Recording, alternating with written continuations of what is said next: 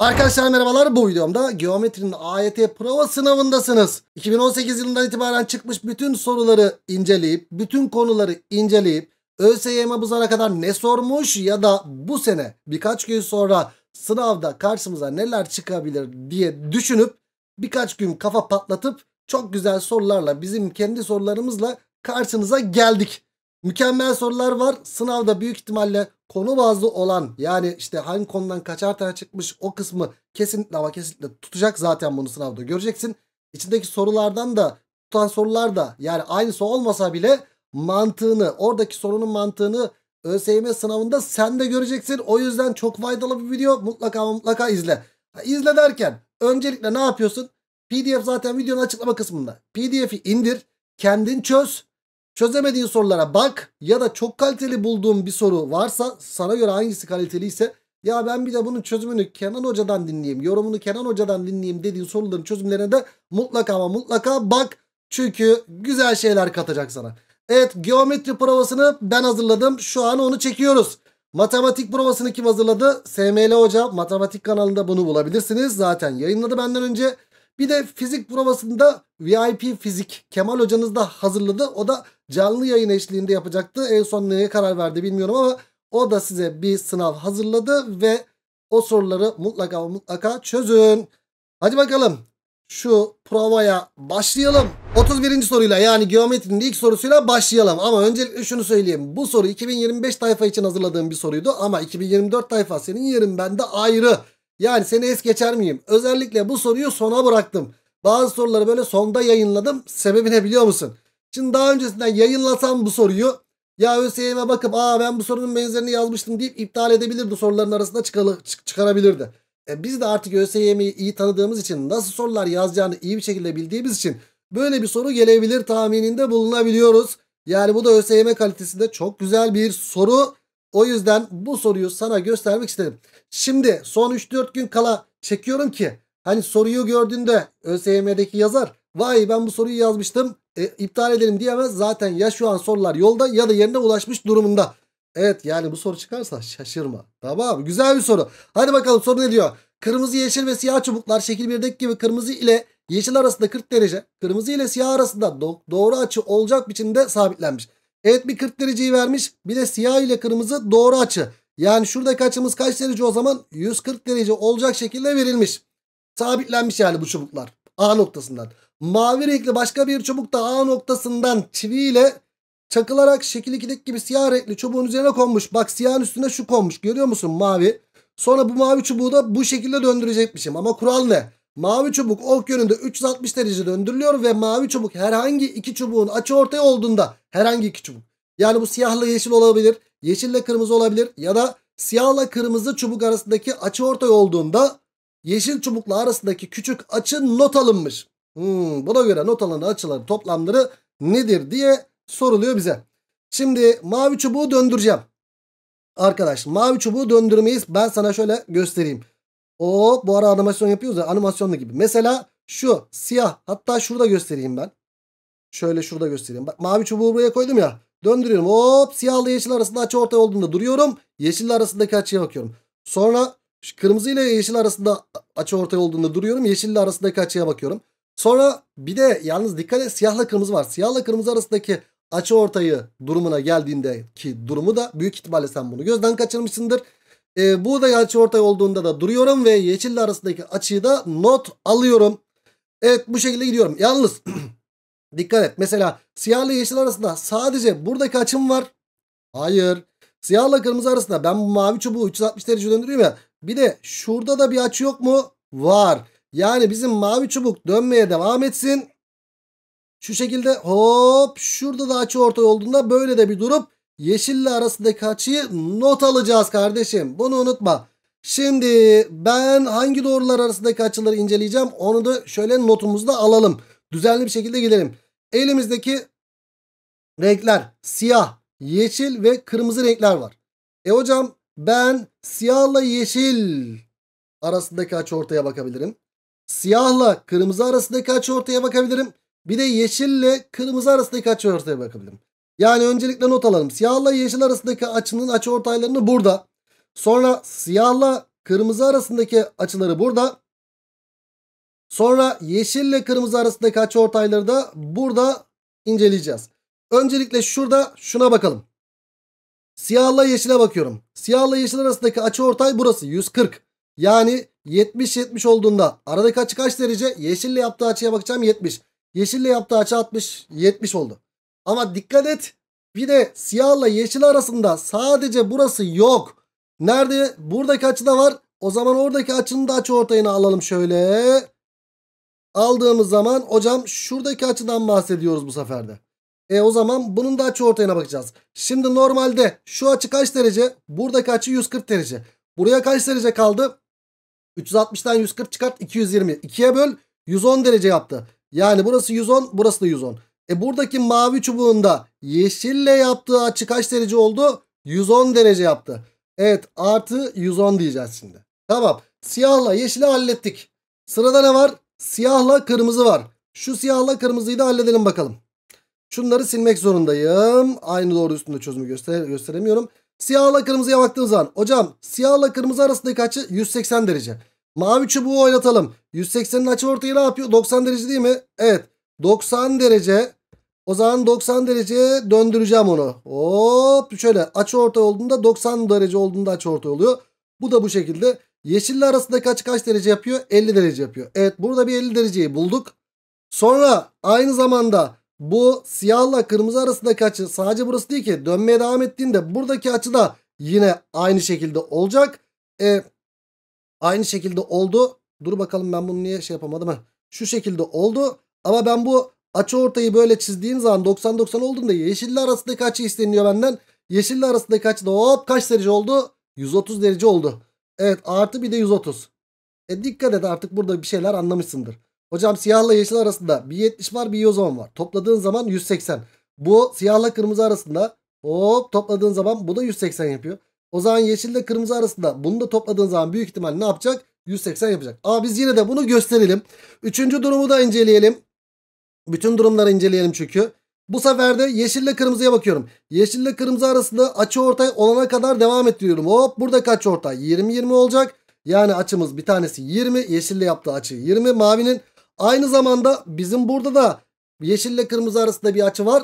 Dönmeye devam ediyor. Dönmeye devam ettiğinde bunun açı ortayı ne olacak? Hocam normalde bak burada kaçı 40 derece. E buraya kaç kaldı? 320 kaldı. 320 ise 160 160 yapacak. Burada 160. Burada da 160 derece olacak. E şimdi yeşille yaptığı açı. Yeşille yeşil çubukla arasında yaptığı açı. Ama küçük açı diyor bana. Hocam burası 160. Ondan sonra bir dakika neresi? Evet şurası 160. Hocam bir de burada 40 alırsam buradaki açı toplamda 200 yaptı. Ama burada bak yeşille mavi arasında direkt zaten 160 derece var. Küçük olan açısını yazacakmışım. Artı 160'ı burada yazacağım. E o zaman bunların toplamı da bak 20 ile 160 180 yaptı. Topladığımız zaman da toplamda kaç yaptı? 540 yaptı. Cevap Ceyhan oldu. Mükemmel bir soru. Gerçekten çok güzel bir soru. Bu ayarda soru. Bak ben bunu doğru açıda gösterdim sana. Üçgende açıda da gelebilir. Bu ayardaki soruyu böyle diğer böyle şekilleri, üçgenleri döndürmeyi, üçgenleri döndürmede, dörtgenli döndürmede ya da ne bileyim bir analitik düzlem içerisinde de yine böyle bir soruyla da karşılaşabilirsin. Bunu doğru açı olarak alalım. Aynı zamanda bunu dönüşüm geometrisi olarak da alabilirsin. Ama doğru açı sorusu olarak kabul edelim. Bunu aslında döndürme olduğu için de dönüşüm geometrisi diyebiliriz. Mükemmel bir soruydu. Sınavda çıkarsa şaşırmam. Tamam. Evet 31. soru. Çok güzel bir soru. Cevap Ceyhan. Geldik 32'ye. Yanlış hatırlamıyorsam MSÜ'de çıkmış bir sorunun benzeri. Ama ÖSYM kendini tekrar ediyor. Özellikle MSÜ'de çıkmış soruların benzerlerini de. TYT'de ya da AYT'de sorabildiği için böyle bir soruyla karşı karşıya getirdim sizi. Şimdi yan kenar uzunlukları 17 birim, alt taban uzunluğu 28 birim olan ikizkenar yamuk şeklindeki bir tabela. Tavanda K ve L noktalarından 10'ar birim uzunluğundaki iplerle üst tabanın köşelerinden şekil 1'deki gibi sabitlenmiş. Şimdi ikizkenar yamuk gördüğümüzde ne yapıyorduk? Ya köşegen çiziyorduk ya da şu dikmeler önemliydi. Yani bu dikmeleri ben büyük ihtimalle kullanacağım. Şuradaki dikmeleri şöyle bir çizeyim istersen. E üst tabana C diyecek olursam buradaki açıları da 90'ar derece vermiş bana. Yukarısı da ne olacaktır? C olacaktır. Hemen şurada C'yi de yazayım istersen. Sonra tabela şekil 2'deki gibi alt tabanın köşelerinden sabitlenirse zeminden 4 birim uzaklaşmaktaymış. Yani 4 birim yukarı çıkıyor. Arkadaş bu önceden zemine tavana daha doğrusu 10 birim yükseklikteyse şimdi ben bunu zeminden 4 birim uzaklaştıracaksam 4 birim yukarı çıkartayım demek. E 4 birim yukarı çıkarttığım zaman şuradaki yüksekliğin kaç olması lazım? Önceden burası 10 iken buranın o zaman 6 olması lazım. E o zaman buradan bir dik çizdiğim zaman burası ne olacaktır? 6. Burada da dik çizdiğim zaman burası da 6 olacaktır. Ve dikkat et iplerin bak uzunluğun değişmezliği var burada. Şu ipin uzunluğu burada 10 ya. E burada da hala 10. Yani şurası da 10. kenar yamuk çıktı. Hala da zemine paralellik devam ediyor. E burada 6 8 10 üçgen çıktı. E burada da 6 8 10 üçgeni var mı? Var. Ve bu arada şu ben burayı C bulmuştum. Yine burada dikdörtgenden dolayı C oldu burada. E ben şimdi ikizkenar yamukta dik çizdiğimde buranın C ve şunların birbirine eşit olduğunu biliyordum. E burada da dik çizdiğimde yine C ve iki eş parçaya bölecek ya. Yani tam oradan çizdiğim dikmeler yine buraya denk gelmek zorunda. Çünkü C ve iki eş parçaya bölecek. Çizdiğim dikmeler C ve iki eş parçaya bölecek. O yüzden bunlar doğrusal oldu. Yani şurası şöyle bir doğrusal oldu. E tabelanın görünen yüzünün alanı nedir diye soruluyor bize. E bize de zaten şurayı da 28 vermişti. Hocam 8 8 16 buradaysa o zaman buraya ne kaldı? 12 kaldı. Hemen buranın 12 olduğunu gösteriyorum. E o zaman burası da 12 çıktı mı? Çıktı. E tamam. E ben buradaki uzunluğu da 8 olarak bulmuştum. Bunlar da 8 8. C de 12. 8 17. Ne üçgeni? 8 15 17 üçgeninden 15'te buldum. Tabelanın görünen yüzünün alanı. Yani bu yamuğun alanı isteniyor bizden. Yamuğun alanı nedir? Alt taban artı üst taban. Alt taban C'yi de 12 bulduk. 28 artı 12 yani 40. Çarpı yükseklik. Yüksekliği de 15 bulduk. Bir de böl 2 dersek şu 20 yapıyor. 20 ile de 15'in çarpı da kaç yapıyor? 300 yapıyor. Yani cevap böylelikle Akçay oldu 32. soruda. 33'e geldik. Evet eş yapı. Kesip başka bir yere götürme. Yani bir şeyleri bir yere taşıma. Ee, de bu sene alan taşıma ile ilgili güzel bir soru geldi. Bu sefer de kesip başka bir yere konabilir. Ya da ben alan taşımayı yine dairenin içerisinde bir soru olarak yazdım. Biraz sonra onu da göreceksin. Yalnız bu mantıkta sorularda ne vardır? Kesip başka bir yere koyuyorsak ne vardır kardeşim? Eş yapı. ÖSYM eş yapılara çok önem veriyor. Zaten bak hep ağzından duydunuz. Ya hocam yeter artık diyorsunuz. Evet ben de çok söylüyorum bıkıyorum ama bıkana kadar da yok devam. Bıksam bile sonuna kadar devam bunu söyleyeceğim. Yani geometride bak sınavın en kaliteli soruları geometride geliyor. Yani hep yeni nesil yeni nesil yeni nesil falan filan diyoruz ya. Ya yeni nesil matematikte çok fazla sorulamıyor. Yeni nesil nerede soruluyor? Geometride soruluyor. Yarıdan fazlası ne? Yeni nesil. Geometride yarıdan fazlası yeni nesil. Ha niye yeni nesil diyoruz? Ya bilgileri saklıyoruz. Ya saklanıyor. Geometride güzel bir şekilde saklanıyor. Önceden AB eşittir AC deniliyordu. Şimdi ne yapıyoruz? Kalem, Döndürüyorum aynı kalem. Döndürülmüş hali birbirine eşit. Ya da katlıyorum ya da kesip başka bir yere koyuyorum. İşte buradaki kenarların eşitliği bizim için önemli. Burada da kesip başka bir yere koymuşum. Kenarların eşitliği eşitliğini kullanacağım. Aşağıda kenar uzunlukları 18 ve 24 olan. Şimdi 18 24. Yani bu 6'nın 3 katı, 6'nın 4 katı, burası da 6'nın 5 katı. Kaç yapacak o zaman? 30 yapacak. Yani burası 18 verilmiş. Bu bir dik üçgen. Dik üçgen açıları koyalım.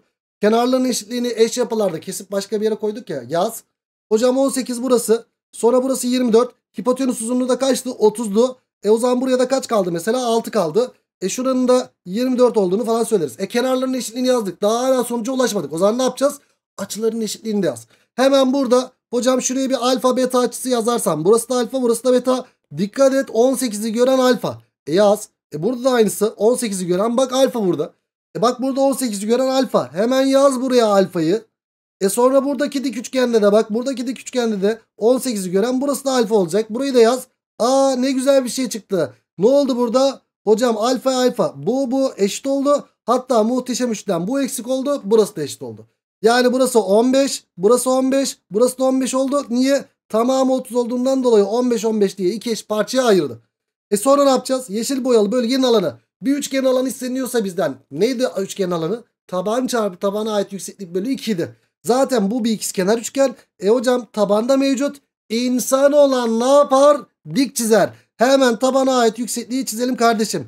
24'ü 2 eş parçaya böldü. 12 12 3 4 5'in 3 katı. 9 12 15 üçgeni. O zaman burası 9 oldu. Yeşil boyalı üçgende taban belli. Yükseklik belli. E o zaman yerine duruyorsun. Yaz. 24 çarpı 9 bölü 2. Yani şunlar şunlar gitti. 12. 12 ile de 9'un çarpımı da kaç çıkar? 108 çıkar. Cevap böylelikle Ceyhan oldu 33. soruda. Sonraki soru çemberde uzunlukla ilgili bir soru. ÖSYM çemberde uzunlukla ilgili böyle yeni nesil çok güzel sorularla karşımıza geliyor. İşte o sorulardan bir tanesi yine bu olabilir. Dikkat. Gerçekten çok hoş bir soru. Soruyu okuyalım. Aşağıda iki tane çeyrek daire, yarıçapı 8 olan çeyrek daire verilmiş. Bu kartonları üst üste koymuşum ve yarıçapları çakışacak şekilde koymuşum. Bu kartonlar yukarıdaki konudayken tek bir kesim yapılıp iki eş daire elde ediliyor. Yani ben o kesimi şuradan yaparsam bak burada üst üste binmiyor. Tek bir daire elde ederim. Yani şu bölgeden tek, şu bölgeden de tek ama şu bölgede çift katlı oldu ya. Ben buradan bir kesim yaptığımda, şöyle bir kesim yaptığımda iki daire elde edebiliyor muyum? Evet. Bu kartonlar bu konumdayken tek bir kesim yapılıp iki eş daire elde ancak böyle elde ederim. Buna göre elde edilen dairelerin yarıçapı en fazla kaçtır? Hmm, en fazla kaçtır? Hocam o zaman olabildiğince ben büyük seçmeliyim daireleri. Nasıl? Tam böyle sınır noktasına geldiğim zaman olmaz mı? Olur. O zaman dairemizi çizelim. Hocam tam böyle sınır noktası olduğunda tam şuralara teğet olduğunda bunlar en büyük daireyi elde ederim. İşte buradan bir kesim yaptım. İki tane karton üst üste olduğu için iki tane eş karton en büyüğü bu şekilde olmak zorunda. E ne yapacağız hocam burada? Şimdi şuraya bakacak olursak çemberin merkezi burası. Çemberler birbirine değiyor. Bak mesela şu çemberle içerideki kırmızı çember birbirine değiyor. Kırmızı çemberle o çeyrek daire birbirine değiyorsa çemberler birbirine değdiğinde daha doğrusu ne yapıyorduk? Hocam merkezleri birleştir.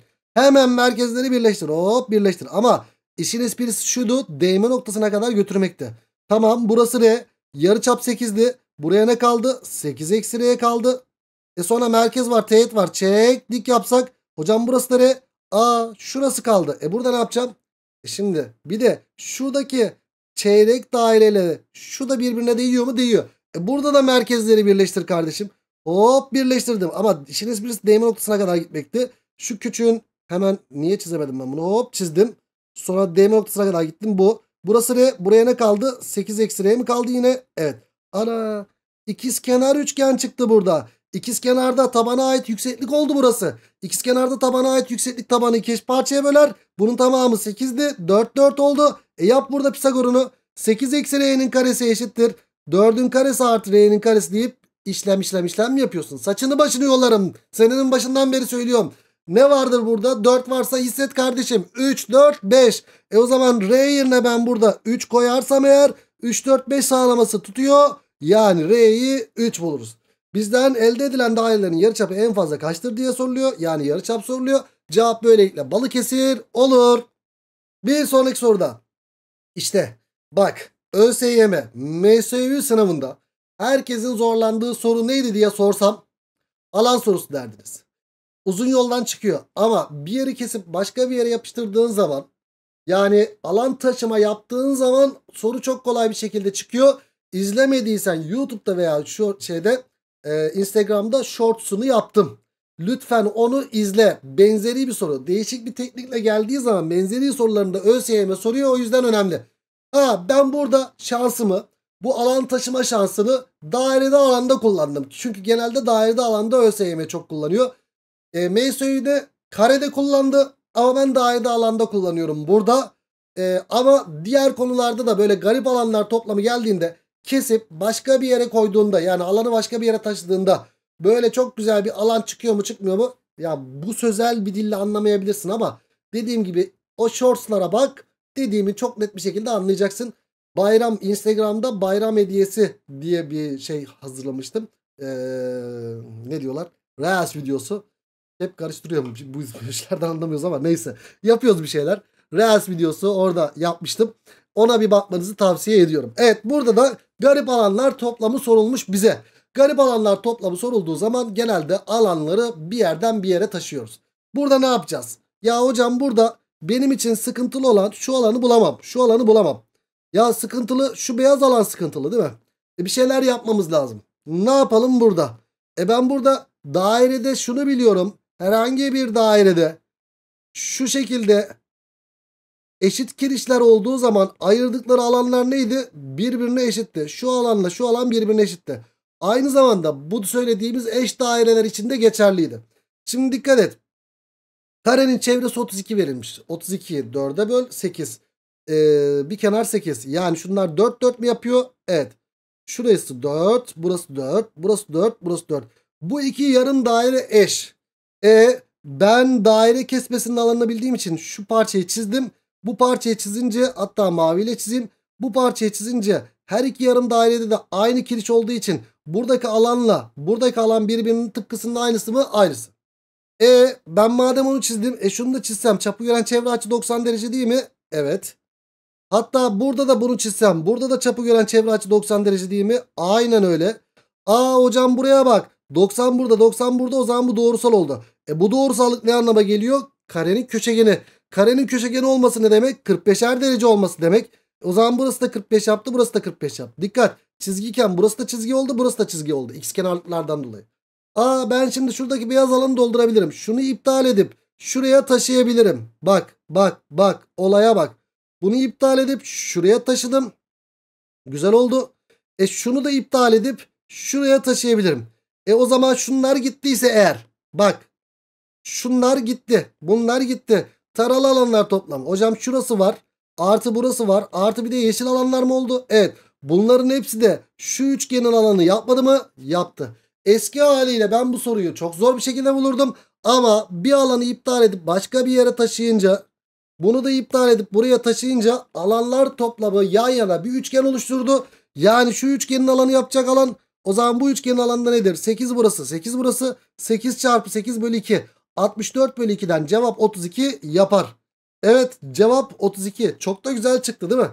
Ben bu şansımı daha iyi alanda kullandım ama bu karede dikdörtgende paralel kenarda eşkenar paralel kenarda zor tabi alan taşıması da eşkenar dörtgende falan da yine karşımıza çıkabilir böyle alan taşıma soruları.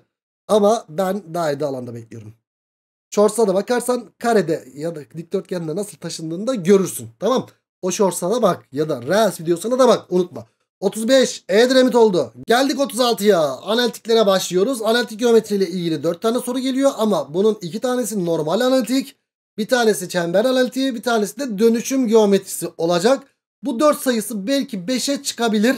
5'e çıktığı zaman da üçgenden, dörtgenden işte üçgen kazanımlarından falan sorular soruyorlar. Haberiniz olsun. Ben 4 tane olarak hazırladım. Genelde de 4 tane geliyor arkadaşlar. Evet şu soruda ne diyor? Alanı 36 birim kare olan OABC karesi. Evet bu kare şu yazılmamış özür dilerim. OABC karesi D doğrusu ile eşit alanlı iki bölgeye ayrılmış. İşte bu da önemli. Uzun zamandır şunu da kullanmıyor ÖSYM. Herhangi bir dörtgeni eşit alanlı iki bölgeye ayırmak demek ne demek?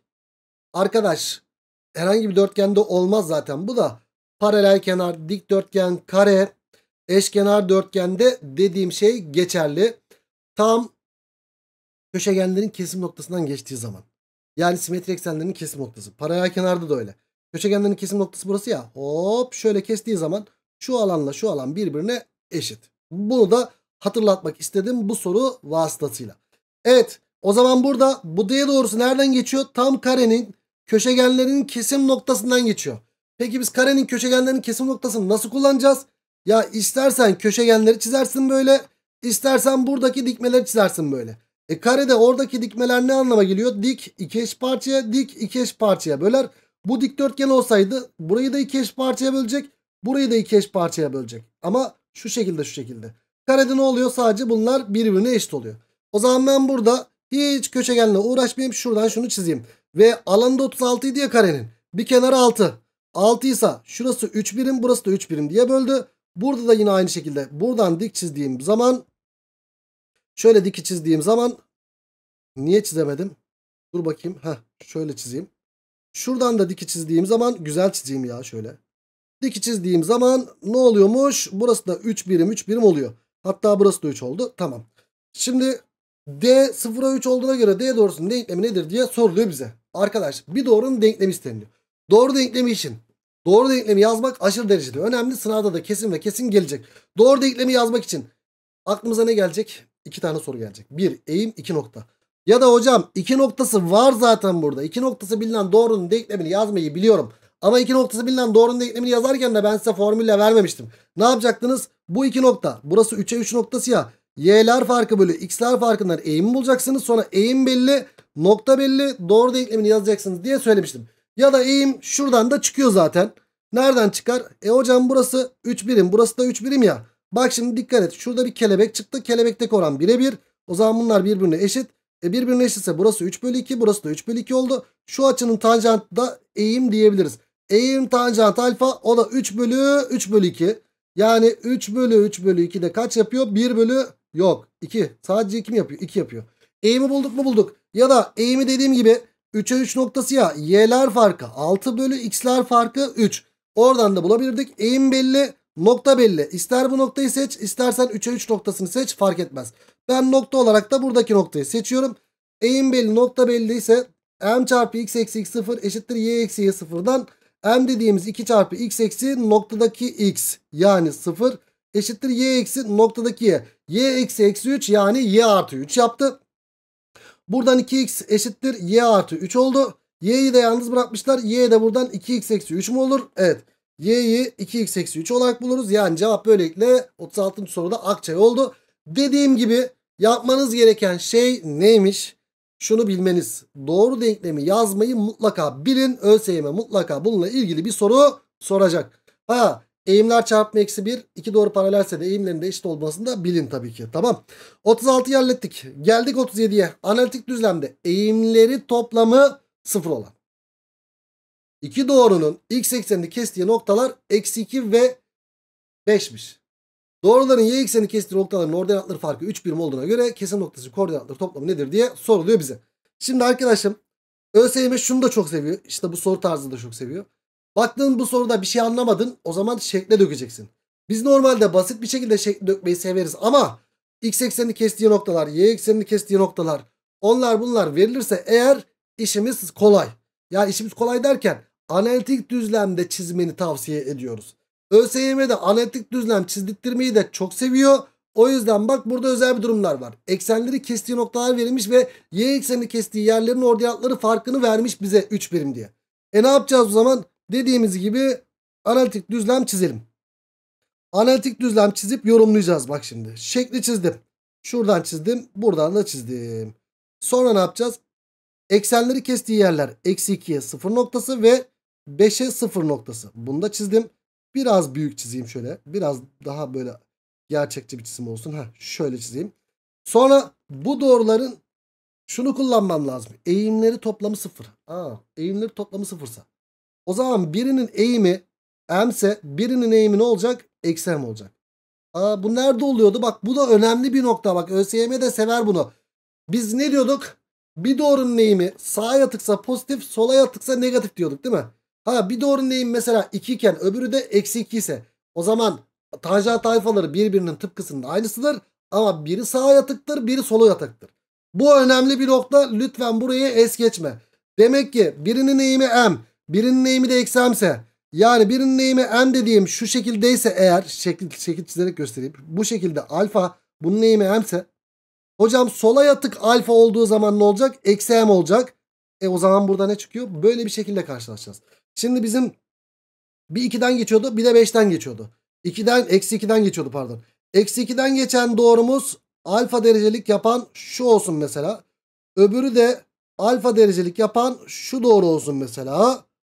E hocam ben bunları çizdim böyle ama y eksenleri kestiği noktalar buralar oldu. Ve y eksenleri kestiği noktalar arasındaki uzaklık 3 birim.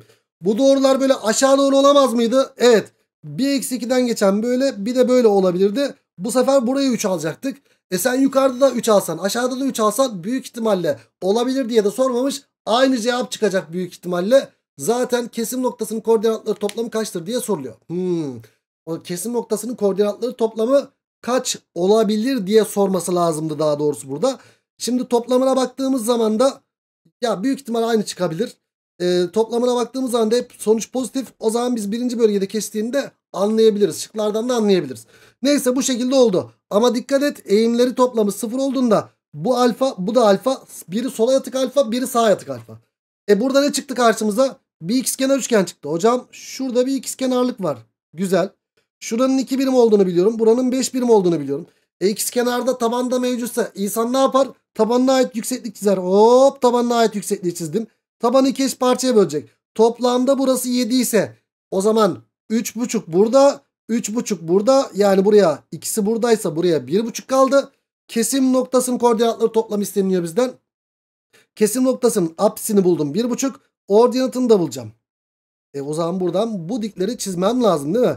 Ama çizmeden önce bir şey yapmalı. Burada bir şey yapmalı. E açılar var ya burada 90 dereceler de var. Açılara dalayım. Şuraya bir beta dersem hatta şekli şöyle bir büyüteyim senin için. Şuraya bir beta dersem ters açıdan dolayı burası da beta ve alfa 90 ise burası da beta olmaz mı? Olur. Burası da beta. Ana şurada da bir ikizkenarlık çıktı. Çok güzel. Taban da mevcut burada 3. Tabanına ait yüksekliği burada çizersem burası da 1.5'a 1.5 mu geldi? Evet. E o zaman dikkat dikkat. Burası da 1.5 burası da 1.5. Neye dikkat edeceğiz burada? Dur bakalım. Güzel bir şey. Aa burası 1.5 yani. Burası da 1.5. Gerçekten dikkat. Hocam burası da 1.5 oldu. E burada ne çıktı? İkizkenar dik üçgen çıktı. Süper.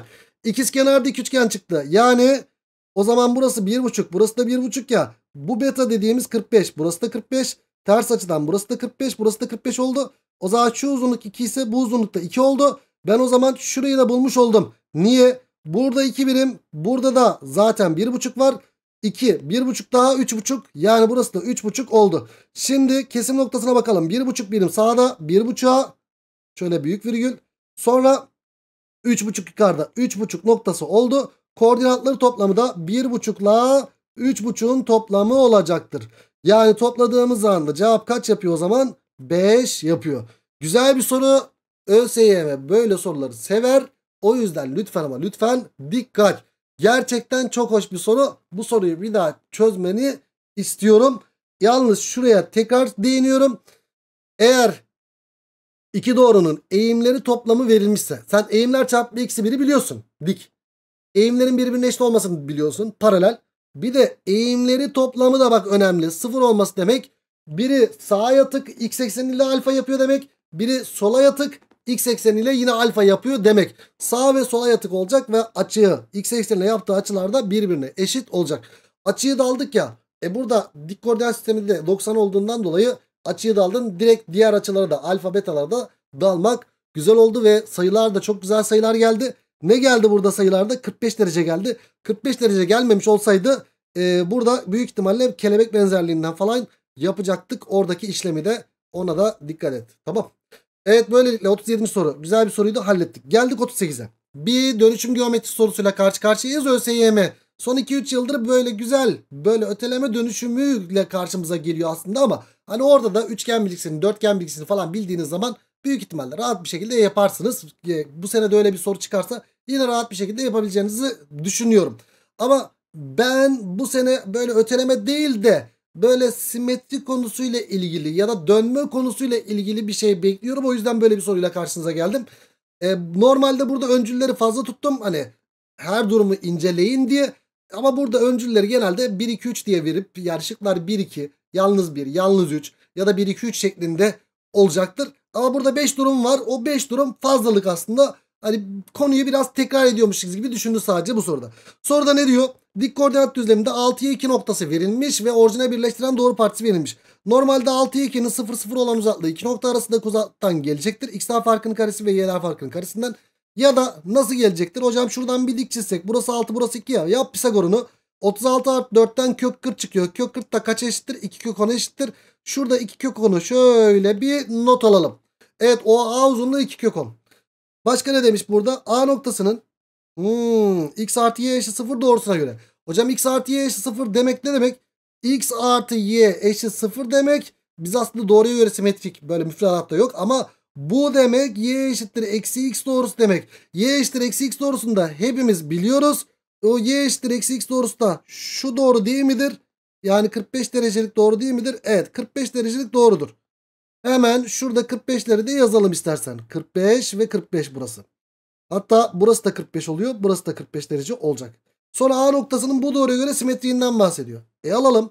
A noktasının bu doğruya göre simetriğini aldığın zaman hocam şuradası şöyle dik olacak. Şöyle geriye alayım. Şuradan dik olacak. E, simetriğini aldığımızda şöyle bir şey olacak. Yani burası dik ve şurası da iki eşit parçaya bölecek. E hatta ben şunu şöyle birleştirsem ne geliyor o zaman burada? Hocam burada e, B noktasından bahsetmiş zaten. İşte x artı y eşit 0 yani y eşittir eksi x'e göre simetriğini alıyorum. Aldığım zaman bu B noktasıymış. OB'den falan bahsediyor ya. Hemen simetriğini aldım ve B noktasını gösterdim. OB'yi de çizince dikkat dikkat şu uzunlukla şu uzunluk birbirine eşit değil mi? Eşit. Çünkü niye? Hocam dik tabanı iki eş parçaya böldü. Nerededir bu? İkizkenar üçgendedir. Sonra bir de x eksi y eşit 0 doğrusuna göre demiş. x eksi y eşit 0 doğrusu ne demek? Hocam x eşittir y doğrusu demek. Ya da x eşittir y doğrusu ya da y eşittir x doğrusu demek. Birinci açı ortay doğrusu demek. O zaman birinci açı ortay doğrusuna göre de simetriğini alalım. Birinci açı ortay doğrusu da nedir? Şu şekilde bir doğrudur. Yani düzgün bir şekilde çizsem hoş olacak. Hop işte bu doğrudur arkadaşım. Çizdik. E bu doğru da şu şekilde 45 derece olacak ya. Yani buraya kaç derece? 25 derece kaldı. Şimdi buna göre simetriğini alalım. Hocam buna göre simetriğini aldığımız zaman da hop dik olacak. Ve bu nokta buraya gelecek. Ve bu noktada ne noktasıymış? C noktasıymış. Hemen C noktasını da gösterelim. Şurası da C noktası.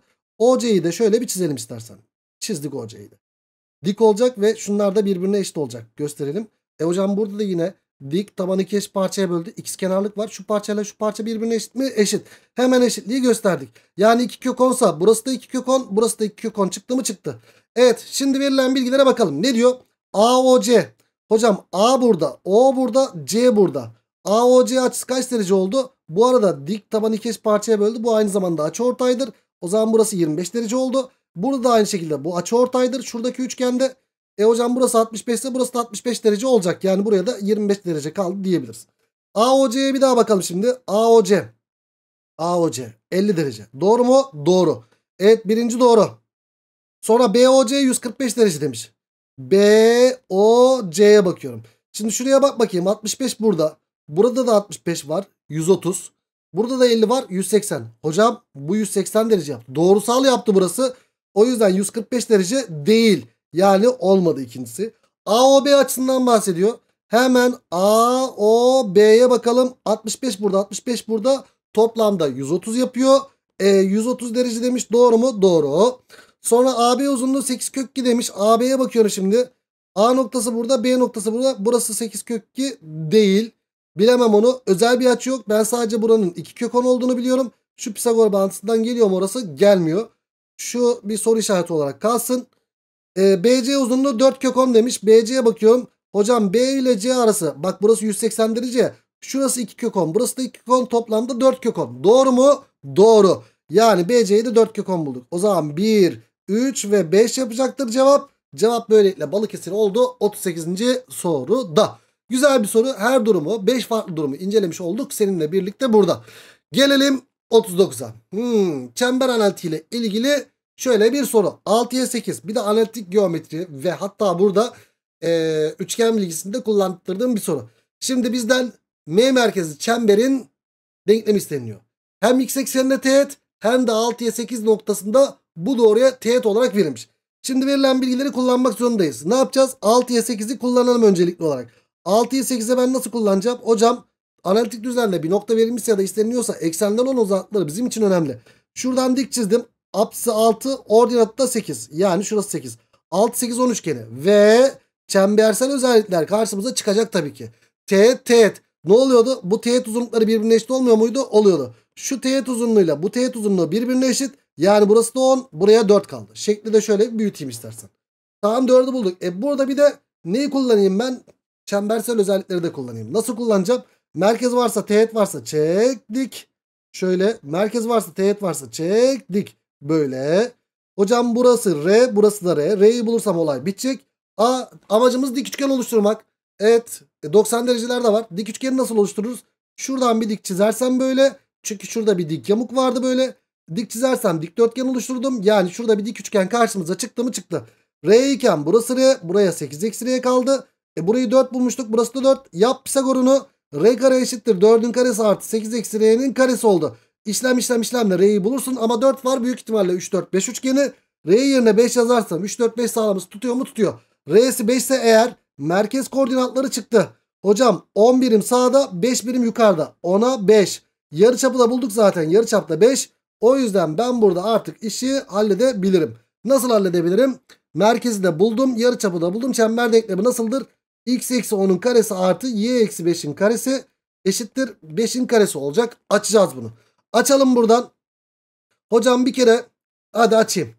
x kare eksi 20x artı 100 artı y kare eksi birinci ile ikinci çarpımın iki katı. Yani 10y artı 25 eşittir. 25 mi? Evet. 25'ler gitti. x kare artı y kare var. Eksi 20x var. Eksi 10y var. Sonra 25'ler zaten gitti. 100 burada var. E, tamam artı 100 mi yapıyor o zaman? Evet. Şıklarda bunu arayacağız o zaman. Eksi 20x eksi 10y artı 100 e, x kare artı y karesi de burada var. O zaman cevap böylelikle denizli çıkar. Evet ne yaptık aslında çember analitiğindeyiz ama çember analitiğinde merkeze A virgül B olan yarıçapı E olan çember denklemini yazmayı kullandık sadece. Geri kalanını analitiksel bilgi, üçgen bilgisi hatta dik yamuk bilgisi de karşımıza çıktı mı çıktı. Analitikte böyle şeyleri ÖSYM sever. Sadece analitik sormaz. Sadece çember analitiği sormaz. Zaten çember analitiği demek çember ile analitiğin karışımı demek. E çemberde zaten üçgensel bilgileri çok kullanıyorduk. İşte şekil A'da gördüğü gibi bu şekilde bir soru da karşına çıkabilir. Ve geldik 40. soruya. Şimdi daha önce benzeri bir sorusunu sordu. Zor bir soru gibi gözükebilir. Benim konu anlatımındaki bir soru. E, ama ben de o soruyu bu şekilde senin karşına getirdim. Daha önce sormuşluğu var. Ya ÖSYM ne yapıyor? Şimdi ÖSYM aslında TYT'de böyle iki tane prizma soruyor ya. İki tane prizma sorduğu için AYT'de de prizma sormamasını bekliyoruz ama sürpriz yapıp prizmayla da karşımıza geliyor. Normalde AYT konularında ne var? Bir tane katı cisim sorması lazım. O da işte piramit, koni, küreden sorması bekliyoruz. Genelde böyle küre ile koni iç içe gerçekten çok yakışıyor. Mesela şöyle bir koni içine de küre koyabilirler. Ya da silindirle koni çok güzel yakışıyor. Ya da silindirle koni değil de silindirle küre gerçekten çok güzel yakışıyor. Böyle içeriden teğet falan filan çizilebiliyor. Bu şekilde karışımlar da karşımıza gelebilir. Ben bu sefer ne yapmışım? Bu sefer koni ile küreyi iç koymuşum. Hatta yarım küreyi kullanmışım burada. Pardon yarım konuyu kullanmışım. Soruyu okuyayım ne diyor? Kumsalda kum ile oynayan peri düz bir zemin üzerinde yarı çapı 8 birim, yüksekliği de 15 birim olan ve tabanına çakışık olan iki yarım koni. Bak normal koniyi ben şimdi çizeyim. Normal konimiz şu şekilde ve yüksekliğine yüksekliği de vermiş bize. Yüksekliği 15 yarıçapı da 8. Burası 8 hop şurası da 15. Olacak şekilde bir şey vermiş.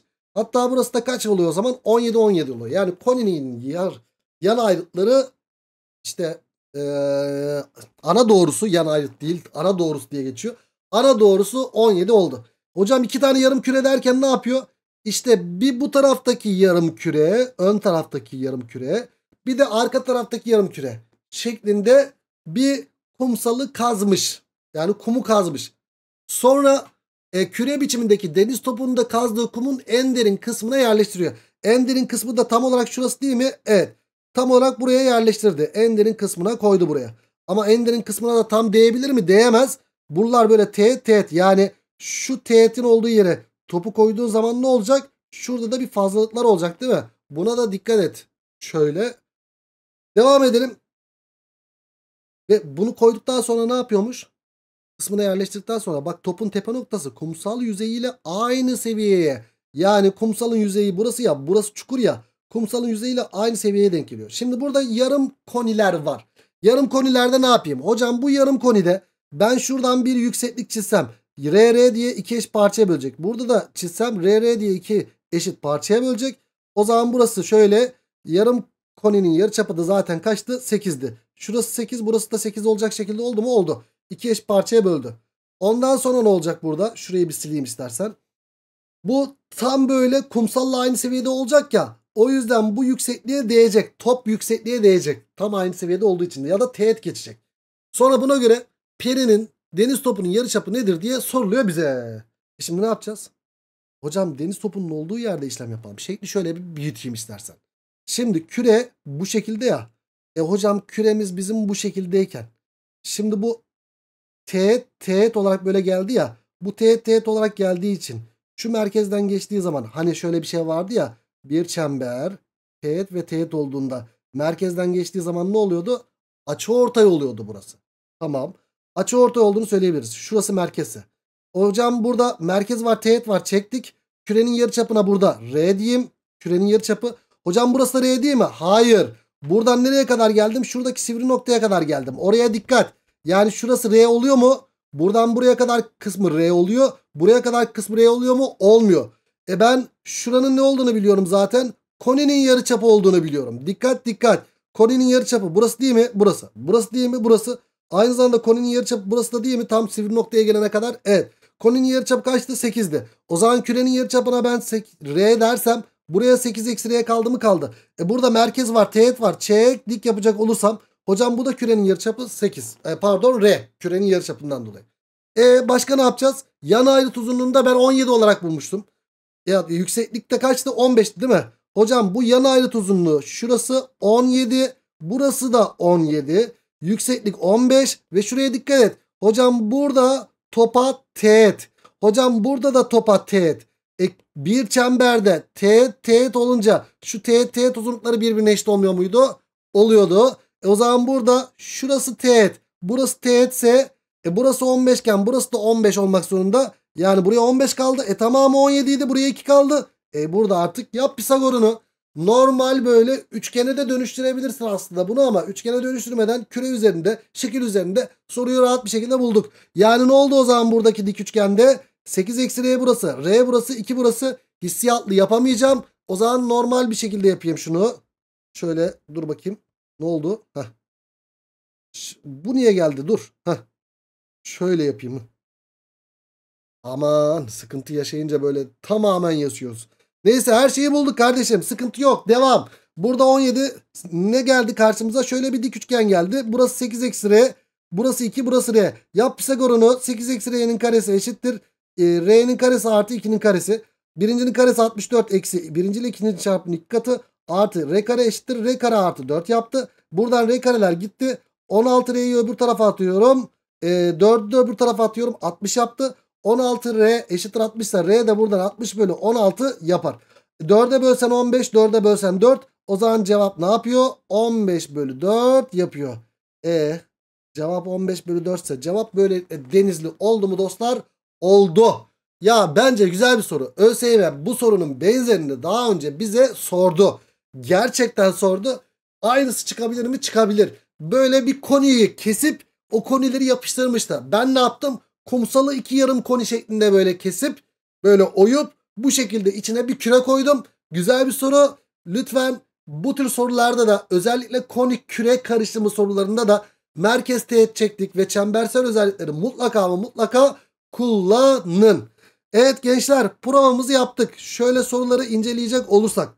Birinci soru gerçekten çok güzel bir soruydu. Sınavda karşımıza çıkabilecek bir soru. Bu soruya bir daha bakmanızı tavsiye ederim. İkinci soru sınavda benzeri çıkmış yine çıkması muhtemel bir soru. Üçüncü soru bu zamana kadar böyle bir soru çıktı mı hatırlamıyorum ama çıkmadı galiba. Yine çıkması muhtemel bir soru güzel bir soru. Dördüncü soru çemberde uzunlukla ilgili garanti yeni nesil çok güzel soru gelecek. Bu da yeni nesil çok hoş bir soru. Gerçekten ÖSYM bu zamana kadar böyle orta hallisini sordu ama bir tık orta halin üstünde bir soruydu. Ama güzel bir şey kazandırdı burada. Burada ne yaptık? Ee, burada bunu çizdik sadece ama şunu da ihmal etmemeliydik. Burada güzel bir şekilde x kenar çıktı böyle. O x kenarlıktan dolayı yükseklikten tabanı iki parçaya bölmesi çıktı. Gerçekten hoş bir soruydu. Alan taşıması. Bekliyorum ama karenin içerisinde ama başka yerlerde ama dairenin içerisinde dairede alan daha yüksek ihtimalli oluyor. Analitik soruları doğru denklemi yazma kesinlikle gelecek dikkat. Ee, bu da güzel bir soruydu. Özellikle şu kısmı. Eğimleri toplamının ne olması sıfır olması bizim için önemli bir nokta. Buna da dikkat. Ee, bu sefer dönüşümle alakalı böyle bu tarzda bir soru bekliyorum diye zaten söylemiştik. Şu çember analitiği sorusu güzel. Bu da gerçekten güzel. Zor ama sen artık bu soruyu gördün. Senin için zor olacak mı bu? Olmayacak. O yüzden rahat ol. Bu sorunun nasıl çözüldüğünü de gördün, anladın. Artık yapabilirsin. Merkez teğet çektik, merkez giriş çektik. Yani küre sorularında böyle silindirin içerisine koyarlarsa, konunun içerisine koyarlarsa uzunluk bilgileri, çembersel özellikleri de unutma. Evet gençler böylelikle provayı hallettik. O zaman ne diyoruz? Bir sonraki ders demiyoruz. Sınavda bu sefer sınavda başarılar diliyoruz. Hem TYT'de hem AYT'de. İnşallah stressiz bir şekilde güzel bir şekilde gireceksin. Hak ettiğin başarıyı da elde edeceksin. Ben hep bunu söylerim. Hak ettiğin başarıyı elde et. Çalışmayanlar öyle bedavadan yok maalesef. Kusura bakmayın. Emek harcadıysan emeklerinin karşılığını almak zorundasın. E, çalışanların da arasında bir fark olsun değil mi? Çalıştın, başaracaksın inşallah. Çok güzel şeyler yapacaksın. İstediğin şehirde, istediğin üniversiteye gideceksin inşallah. Bundan sonrasında artık sıra bizde. Bizler de sizin için, çalışanlar için, hak edenler için dua edeceğiz. Bugünden itibaren dua etmeye de başlayacağız. Merak etme. Elinden geleni yap. Ve geometride son kez şunu söylemeden yapmıyorum, edemiyorum. Soruda takıldığın zaman kullanmadığın bilgiye odaklan, verilen bilgiyi kullan. Dediğimi de unutma. Allah'a emanet. Sınavda başarılar. Kendine iyi bak. Hoşçakal.